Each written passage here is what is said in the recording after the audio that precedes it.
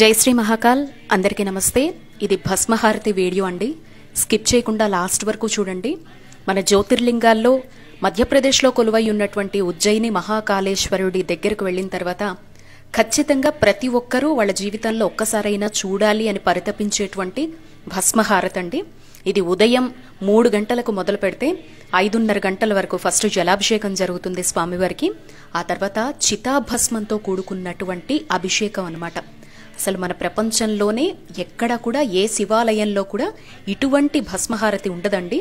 so దీని తర్వాత మిగతా భారతదేశంలో కావచ్చు కొన్ని ప్రాంతాల్లో కావచ్చు భస్మహారతి వంటివి పెట్టారు కానీ శ్మశానంలో చివరి మృతదేహంకి సంబంధించినటువంటి భస్మం ఏదైతే కాలి ఉంటుందో అది అప్పటికప్పుడు ఫ్రెష్గా తీసుకొచ్చి స్వామివారికి ఉదయాన్నే బ్రహ్మ ముహూర్తంలో చేసేటువంటి అత్యంత కనులకు విందుగా